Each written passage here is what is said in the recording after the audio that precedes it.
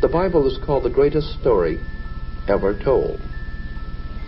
The greatest story, not the greatest collection of facts, not the most paramount uh, uh, document on earth, the greatest story ever told. It's a story. Mm.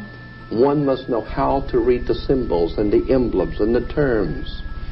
And that is why the symbols in the in the, the Bible symbols too are in the Bible everywhere. I mean, did you know, for instance, that the book of Revelation was not written by Christians? The book of Revelation was around for at least 500 years before Christianity ever came into existence. The book of Revelation was already in circulation. No John ever wrote the book of Revelation. His name was Ion, I-O-N, from the mm-hmm. Ionian Sea. And when in, in, in Latin, when you change I's to J, it becomes J-O-N. Mm. But in the English, it becomes J-O-H-N. So that today we're told that John wrote the book of Revelation. No such John ever wrote the book of Revelation. It was written mm. 500 years before Christ was ever born. Oh, this is just, just, it's just, you know, earth shaking.